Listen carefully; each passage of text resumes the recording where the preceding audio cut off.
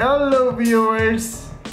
Ito na naman tayo. Gagawa naman tayo ng isang uh, video reaction about sa pahayag ni Duterte uh, regarding sa Kapa. Kasi kaming mga OFW, uh, ngayong araw na to, uh, fake news po kami sa mga taga-Kapa community dahil sabi ng Kapa community uh, sa rally nila sa rally nila kahapon doon sa Quezon City Circle Center na approve na daw ni Duterte yung kapa. So, naniwala naman kaming mga OFW. Kasi hinihintay namin yon yung approval ni Duterte kasi siyempre naman gusto din namin mag-invest. 'Di ba? So kayo lang ba ang gustong kumita ng pera, 'di ba? 'Di ba? Basta legal lang. Wala namang problema eh. Kaya kaya nga tayo nagtatrabaho dito, 'di ba? Kasi gusto tayo kumita ng pera. Kaya, so yun, naniniwala naman kami na approve na daw ni Duterte yung ano, yung kapa. So, after mga gabi na, nakita namin yung video nung pumunta si uh, PRRD sa Jinsan, nagsalita siya about sa kapa.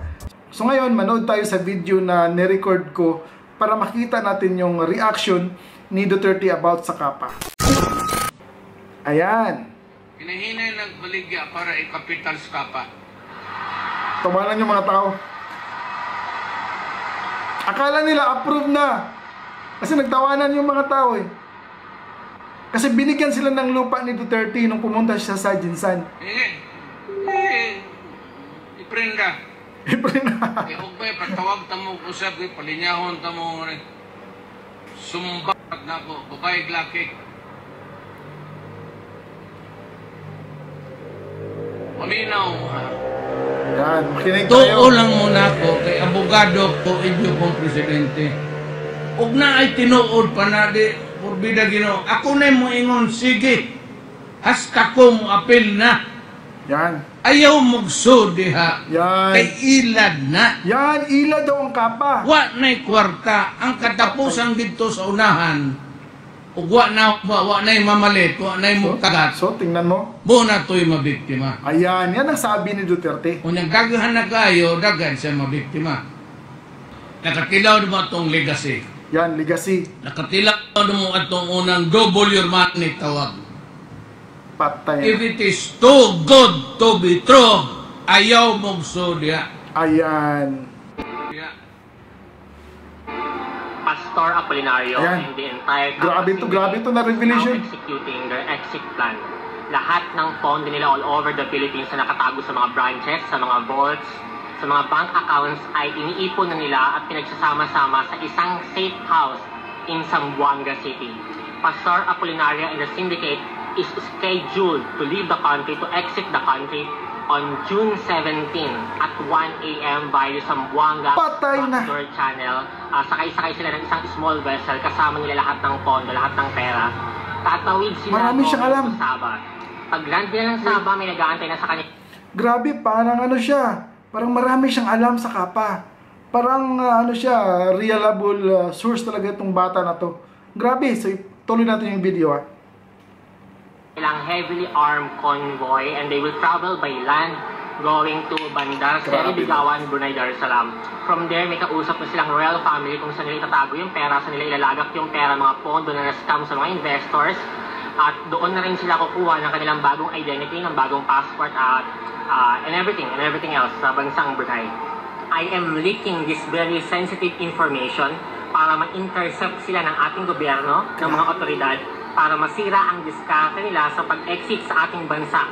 Dala-dala ang mga pondong natangay nila. Grabe. Uh, if, if you will ask me or the Philippine government will ask me kung bakit nila ako papaniwalaan, sino ang source ko, etc., um, this will be my answer.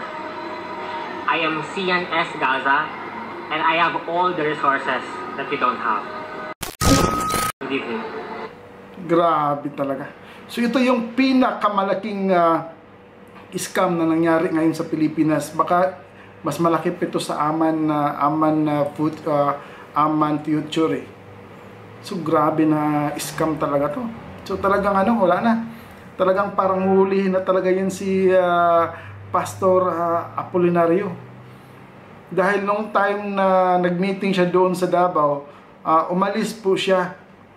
Kasi sabi niya, ah, pupunta daw si ah, Duterte doon. So, tapos iniwan niya yung mga tao, kawawa yung mga tao, kaway ng kaway, naghihintay naman kay Duterte, so wala naman dumating.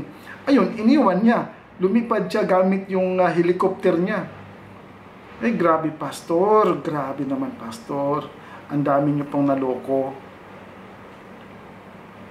So, ako neutral lang po ako dito ha, pero nagsalita na ang Pangulo. So, isa lang masasabi ko, Kapa is a legit scam. So, yan lang po masasabi sa mga Kapa members. Huwag po kayong magalit kasi for the first time, gusto ko pong ah, mag-invest sa Kapa. Oo. Ang sa akin lang po, hinintay ko lang po yung ah, approval ni ah, or ang sa akin lang po, hinintay ko lang po yung message ni Duterte. So ayan na po. So hindi ko naman po sabihin na bubo yung Pangulo. Napakatalino ng Pangulo natin. Binoto, na, binoto natin siya kasi matalino yan. At saka sabi niya, nung mayor pa siya, nung prosecutor pa siya, ang dami na niyang mga punsi scam na pinasara, inaristo, yung mga sangkot. So kaya, naniniwala ako kay Duterte. Kaya, sayang, pastor, sana ibalik mo yung pera sa mga tao dahil yung mga pera na yan, sa kanila yan. Sana po kasi nakakawa yung mga tao dahil yung mga kalabaw nila, yung mga baboy nila, kalabaw, baboy, pati yung mga lupa. Binibinta yung mga lupa. Alam nyo kung bakit? Dahil yung kapa, dumating na po sa bundok. Kasi parang nasaturate na po yung kapa, yung sa city.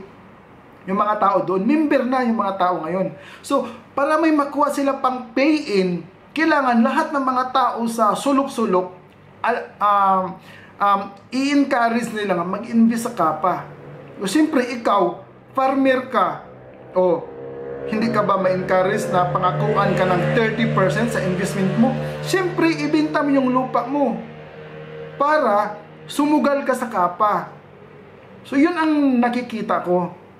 So, paano, paano na ba, ano mangyayari kung magkapa ng lahat? Wala ng farmer, ubos na.